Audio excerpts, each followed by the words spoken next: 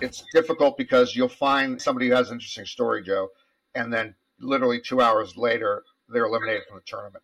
So it's very difficult to you got to find somebody who's then going to last and such a story. And so you know we leave we leave a lot of stuff essentially on the editing floor, which we don't get into the broadcast live or taped because people come and go, and that's one of the shames. You know, you got you got thousands of people out there, and almost everybody has a story, and some of them have extraordinary stories.